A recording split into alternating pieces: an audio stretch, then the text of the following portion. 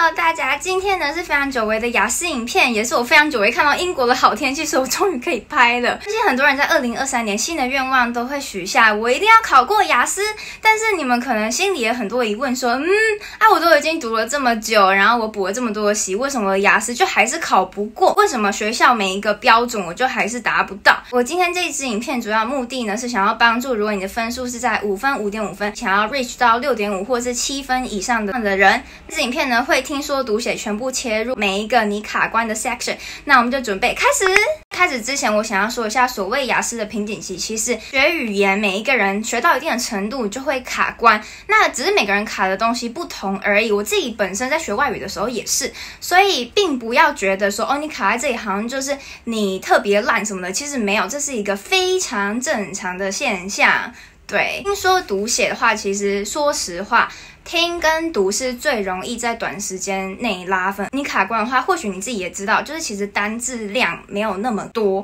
这两个真的是，或你常写题目，然后常背单字的话，其实真的很可能可以拉到一个很不错的成绩。作文跟口说，大家没办法突破的点，应该会是大片的作文跟 speaking part three。那我觉得最重要的点绝对是单字。之前花很多时间在讲说，哎，你要整理同义字啊什么的，你们一定要做到，不然单字其实就会卡在那里起不来。再来，绝对就是作答的。方法很多时候，很多老师会跟他们说他们成功的作答方法，可是你要知道那些方法不一定适合你。当你现在做的这个方法你觉得没有用，你觉得你还是一直错，或者是你真的没有很懂这个方法的原理是什么，你一定要再去寻求额外的帮助，或是你要换一个读书方式。这两个说实话，如果没有拉分的话，那口说跟作文其实是更难拉分的。所以你你们一定要把握听跟读这两个。说真的，刷题蛮重要的，就你们一定要刷大量的题。题目，但是在刷题之前，请背好单字跟换好方法，不然刷题就一定会是增加挫折感的一个方式。在你还没有准备好之前，不用去刷这么多的题目，然后让自己觉得说，哦，我好烂，不需要。但是在那之前，一定要知道自己需要什么。以台湾学生来说，我觉得找不到答案，通常分成两个情形。第一个应该是最常见的，因为我们在高中的时候，老师就会说，哦。这个单字呢是画第一个意思，但其实雅思有时候都是考那后面的意思，所以我们好像在升学的时候觉得说，嗯，一个单字都只有一个意思，但其实没有，那就很容易遇到就是误解题目的意思，因为你根本就不知道它还有其他的意思啊。对，所以意思也非常重要，是因为我们还是习惯就是把题目翻译之后才作答，你的脑中会需要翻译的话，你还是要把很多的意思记下来。第二个的话，我觉得就是找错方向，就是说哦，你误解了文意，所以你也误解了题型，然后你就找错方向。对，所以我觉得这两个一定要好好好把握。接下来我就要讲作文跟口说了，这两个应该是大家最……我在考的时候我会觉得很麻烦啦，对，但是只要你过了，真的就没事了。好，我们现在来讲作文好了。作文的话呢，很多人会在成功考到八分或者九分，就跟你说，嗯，你要背很多模板。模板呢，其实有很多种。我觉得我很常看到一整串的，我不知道你们是不是背那种。如果你是背那种一整串的，请拜托不要再背了。一整串的那种东西是不可能可以套入所有的作文的，对，因为你背的那一整串，如果你不知道怎么活用，或者你不知道怎么改，其实那一整串通常就是蛮难用的。所以不要觉得说好像模板就是一定都可以套，没有。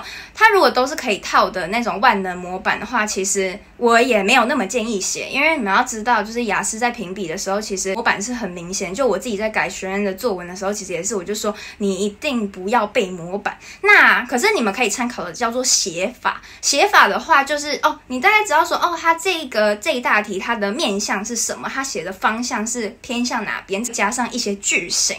所以我觉得这个会是比较。重要的好，那我讲到这边的话，大家就想说，好啊，那我要怎么写？好，请拜托不要背模板之外，也不要写那种短句。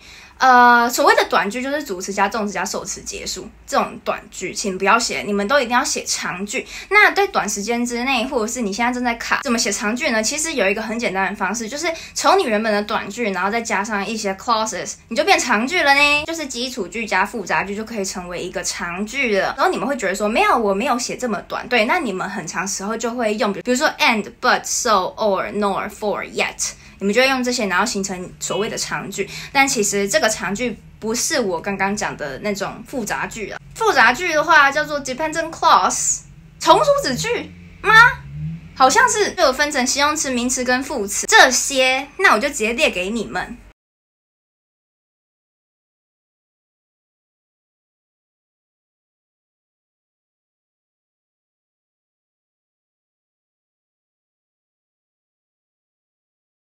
讲白一点，就是把这些东西套进去你原本句子就 OK 了，这就会差蛮多的。这就是六点五分到七分的作文，它主要差别就是差在这边。再来的话是 speaking，我说的话其实 Part Three 真的是，唉。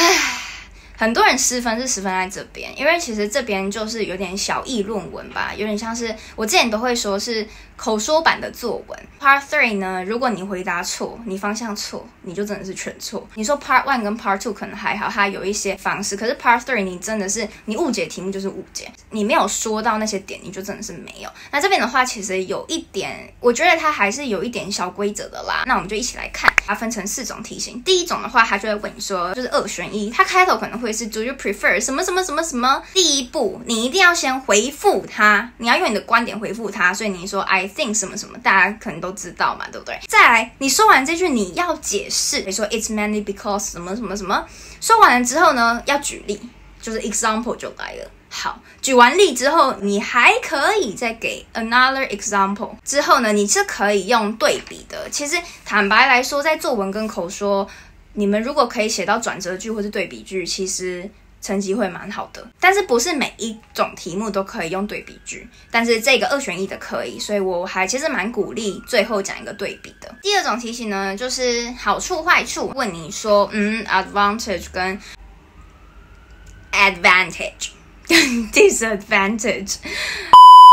这种的话呢，就是你一开始你就是直接回复他说你觉得好处是什么，坏处是什么，然后就要给。例子，然后例子之后呢，你可以用此外，besides 或者是 moreover，毕竟在讲好处坏处嘛，所以你一定要去延伸你的东西，你才能够说服别人这到底是好还是不好嘛。例题也是可以用转折的，就是 however 带入，然后 however 带入之后呢，你要开又要再继续解释，你可以用 first、second 或者 also 这样，然后这样子就讲完这个题目了。接下来的话呢是预测题，比如说，哎。你觉得体书会被电子书取代吗？这种预测题，所以预测题的话呢，也是你就第一步直接给观点，直接给观点，不是像上面说 I think 哦，不是哦，Yeah, definitely 怎样怎样怎样的，It's quite possible that 怎样怎样怎样怎样的。这种题目跟上面的讲法有点不同，但是是这样子比较容易切入他要的东西。再来的话，这一种题目呢，就是问什么样子的影响，好像是题目长这样子的话。第一步呢，可以直接就第一步就直接回。真的就是直接回就好了，然后再来你就要解释，解释完之后就要给细项。这个细项比较不是刚刚上面讲的举例，这边细项比较是讲说，哎，你觉得为什么这样子会影响到？对，所以其实每一种 speaking 他问的题目都有它的解法，但是我觉得重点是你知不知道？很多时候我们在纠结说，嗯，我觉得我讲的明明就很好，为什么我的口说就是这么低分？